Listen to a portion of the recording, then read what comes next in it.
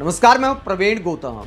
दोस्तों, वीडियो में आपको दिखाएँगे मिथुन चक्रवर्ती का वो बयान जो दिखाता है कि बीजेपी के नेता से लेकर अभिनेता सब आखिरकार देश में भड़काऊ बयानबाजी क्यों कर रहे हैं? पानी छिड़कने की बजाय आग लगाने पर क्यों उतारू हैं? हिंदू मुस्लिम राजनीति में मिथुन चक्रवर्ती गृह मंत्री अमित शाह के सामने कानून अपने हाथ में लेने की बात करते हैं, पब्लिक को भड़काते हैं। मिथुन चक्रवर्ती ने बंगाल में अमित शाह के इवेंट में किस तरह का बयान दिया, आगे आपको दिखाएँगे। आपको याद होगा कि कुछ दिन पहले गिरिराज सिंह का भी एक भड़काऊ बयान आया था, जिसको लेकर लोगों ने सवाल उठाया था कि मोदी सरकार के मंत्री होकर संविधान की शपथ भूलकर गिरिराज सिंह किस तरह हिंदुओं को उकसाने का काम कर रहे हैं, भीड़ बनने के लिए उकसा रहे हैं मुसलमानों को मारने के लिए। और अब मिथुन चक्रवर्ती ने भी ऐसा ही बयान दिया है। हिंसात्मक बयान दिया है मिथुन चक्रवर्ती ने। और मिथुन चक्रवर्ती गृह मंत्री अमित शाह के सामने कहते हैं कि बंगाल में 2026 का चुनाव जीतने के लिए कुछ भी करेंगे। क्या कहते हैं मिथुन चक्रवर्ती? जरा सुनिए। कुछ भी करेंगे। ट्वेंटी ये मसला हमारा होगा। कुछ भी करेंगे, कुछ भी। मैं होम मिनिस्टर साहब के सामने बोल रहा हूँ, कुछ भी। कुछ भी के अंदर बहुत सारे मतलब छुपा हुआ है। तो मिथुन चक्रवर्ती कहते हैं कि बंगाल में चुनाव जीतने के लिए कुछ भी करेंगे। कार्यकर्ताओं का उत्साह बनाने के लिए ऐसा बयान ठीक है, लेकिन कुछ भी करेंगे कि मायने आगे जो समझाते हैं, वो सवाल उठाता है कि देश के गृह मंत्री के सामने आखिरकार कोई नेता, अभिनेता इस तरह कानून हाथ में लेने की बात कैसे कर सकता है?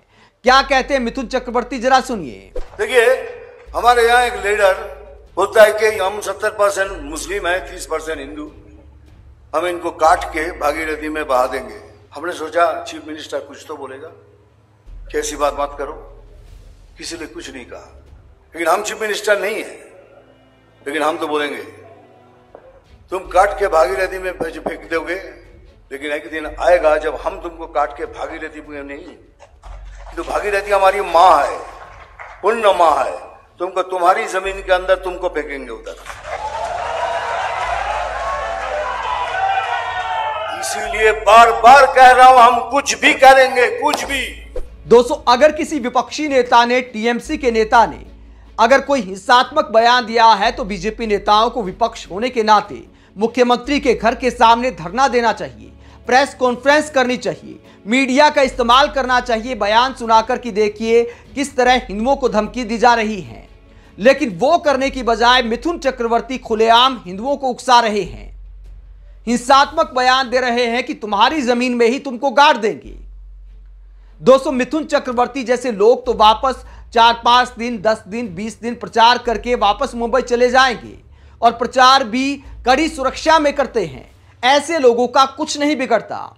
लेकिन ऐसे लोग पब्लिक को भड़का रहे हैं बंगाल में बीजेपी को चुनाव जिताने के लिए। क्या कहते आगे मिथुन चक्रवर्ती, जरा सुनिए। हमको वो कार्यकर्ता चाहिए जो सामने आके लड़ेंगे। हमको वो कार्यकर्ता चाहिए जो सीना तान के बोलेंगे, मार साला, देखता हूँ तेरे में कितनी गोली है। कि भाई लाख, सुन लो, अगर आप हमारे झाड़ का एक फल तोड़ोगे तो हम आपके झाड़ का चार फल तोड़ देंगे।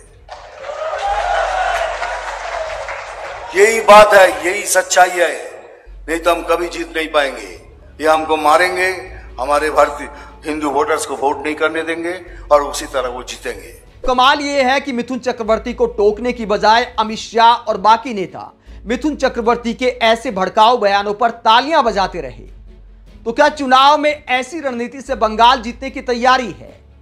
मिथुन चक्रवर्ती कहते हैं कि जो मरने मारने पर उतारू हो, ऐसे कार्यकर्ताओं के दम पर ही बीजेपी चुनाव जीतेगी 2026 का। हम कुछ भी करेंगे बूथ पर अगर वो हमारे कार्यकर्ताओं को भगाते हैं तो हम उनके कार्यकर्ताओं को भगाएँगे। आगे मिथुन चक्रवर्ती ये भी कहते हैं कि बंगाल में हिंदुओं का वोट नहीं डालने दिया जाता। आगे हम चुनाव जीतने के लिए ऐसे हालात भी पैदा कर सकते हैं कि मुसलमानों को वोट ना देने दिया जाए। क्या कहते हैं मिथुन चक्रवर्ती, जरा सुनिए। अगर वो हमारे भारतीय हमारे हिंदू वोटर्स को वोट नहीं दे सकते नहीं देने देते तो अगले साल हम भी तैयारी करेंगे कि आपके वो वोटर्स भी वोट नहीं दे पाएँगे। ये मिठुन चक्रवर्ती बोल रहा है। मिठुन चक्रवर्ती अभिनेता नहीं। वो 68 का मिथुन चक्रवर्ती आपको बोल रहा है, अट्ठाईस साल का मिथुन चक्रवर्ती। हम राजनीति किए भैया। खून की राजनीति की हमने। हमको सब मालूम है। कौन किधर से क्या करने वाले सब मालूम है। खाली आपका साथ चाहिए आपकी हिम्मत चाहिए और वो सीना चाहिए। दोस्तों, मिथुन चक्रवर्ती की इस बात में क्या लॉजिक है? अगर ममता बनर्जी सीएम है तो अकेले मुसलमानों के वोट के दम पर क्या सीएम बन गई ममता बनर्जी? क्या हिंदुओं ने वोट नहीं दिया ममता बनर्जी को? आज भी बंगाल में हिंदू वोट कहीं ज़्यादा है मुस्लिम वोट की बजाय। ज़ाहिर तौर पर हिंदू मुस्लिम सबने वोट दिया है। अकेले मुसलमान के दम पर ममता चुनाव नहीं जीती हैं।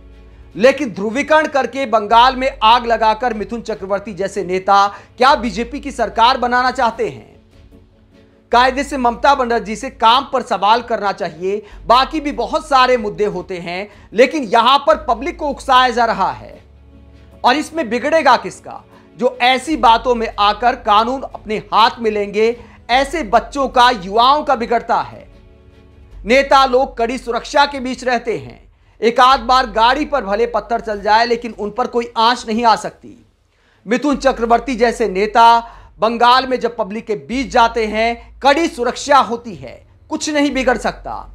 लेकिन यहाँ पर मिथुन चक्रवर्ती बीजेपी के युवा कार्यकर्ताओं को उकसा रहे हैं कानून हाथ में लेने के लिए कि आप अगर कानून हाथ में लेने के लिए तैयार हैं, अगर आप मरने मारने को तैयार हैं तो आप अच्छे कार्यकर्ता हैं। क्या मिथुन चक्रवर्ती का यह कहने का मतलब है?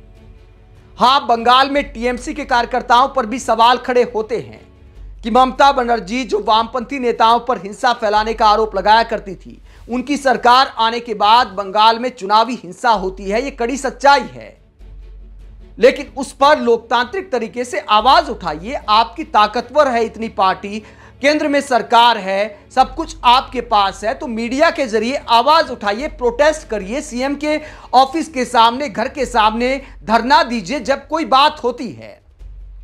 लेकिन कार्यकर्ताओं को हिंसा के लिए उकसाना, सरासर युवाओं के साथ खिलवाड़ करना है, होता क्या है? कार्यकर्ताओं पर केस होता है, मुकदमे वो झेलते हैं और ऐसे नेता, अभिनेता बोलकर निकल जाते हैं, ऐसे लोगों का क्या बिगड़ना है? लेकिन गृह मंत्री अमित शाह के सामने मिथुन चक्रवर्ती का कानून तोड़ने की बात करना दिखाता है कि जब सैया बहे कोतवाल तो डर काहे का? आप देश के गृह मंत्री के सामने मिथुन चक्रवर्ती की ऐसी भड़काऊ भाषा को लेकर क्या सोचते हैं? कमेंट बॉक्स में अपनी राय ज़रूर दें। अगर आप हमारी पत्रकारिता को पसंद करते हैं तो थैंक्स के ऑप्शन का भी इस्तेमाल कर सकते हैं। इसके अलावा वीडियो को लाइक करें, चैनल को सब्सक्राइब करें। नमस्कार।